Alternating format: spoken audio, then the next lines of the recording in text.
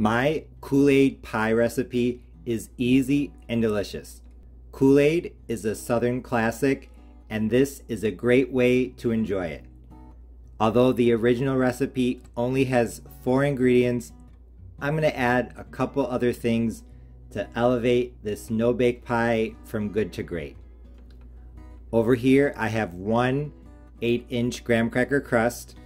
Of course you could use store-bought but I made my own I'll try to remember to include the link to my recipe below. If you make a homemade graham cracker crust, you do not have to bake it, but I recommend baking it because I found that baked crusts hold up a lot better when you go to cut and serve the pie.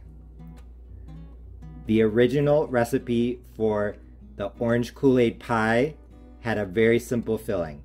Just one 14 ounce can of sweetened condensed milk, one 8 ounce tub of Cool Whip or whip topping, and one small 0.15 ounce packet of orange Kool Aid. You just mix everything together, pour it into the prepared graham cracker crust, chill in the refrigerator, and that's it. But I'm going to add my Chef Parnell touch. I'm going to add a little over one teaspoon, but we'll call it one teaspoon of orange zest and two tablespoons of orange juice. I am actually using a Minneola tangerine. They're really delicious. I highly recommend them. If you have navel oranges, which is what I'm guessing most people are going to be using, for the juice, I would probably do one and a half tablespoons of orange juice and maybe half of a tablespoon of lemon juice and maybe just a pinch of sugar. I think that would be a good substitute for what I am using, but honestly, I think just normal uh, orange juice would be fine. I'm going to add an eighth of a teaspoon of salt, and I, I'm actually probably going to add some food coloring as well. Not quite sure how much, but when I was researching this orange Kool-Aid pie recipe, I noticed that a lot of them, they were kind of a pale orange, I like my food to be brightly colored, so I'll probably add some food coloring. Like I said, this no-bake pie is super easy. To make the filling, all you have to do is mix together all of the ingredients except for the Cool Whip in no particular order. Once the Kool-Aid is mixed in, I will bring you back. I'm going to go ahead and add some of the food coloring now because once I add the Cool Whip it's definitely going to look a bit paler. So I'm going to do one, two, three, four, oh, five, six, I guess. And we'll do one, two, three, four, five, six. Six drops of red and six drops of yellow. When you are mixing ingredients that are of different densities. This is kind of thick, that's light and airy. You have to mix them in a special way. You have to fold. I'll show you what I mean. I'm gonna empty the Cool Whip into my container or into my bowl here. And the way that you combine them is you fold. So instead of mixing normally, you take a spatula or a white spoon, I could probably use that as well. Dig down to the bottom and bring it up. From the bottom to the top. As you can see, the Cool Whip is totally combined with the sweetened condensed milk, the orange Kool-Aid powder, the orange zest, the orange juice, and the food coloring. I tasted it, and it definitely tastes like an orange creamsicle. I'm also glad I added some food coloring because, like I said, I think it would have been kind of pale otherwise.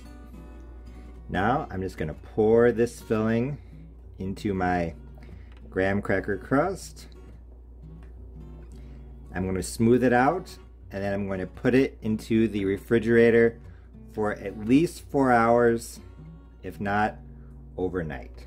I'm just to smooth it out I was really curious about this orange creamsicle Kool-Aid pie, so I couldn't wait to cut the first slice and give it a try. and when I took the first bite, I realized just how delicious this pie was.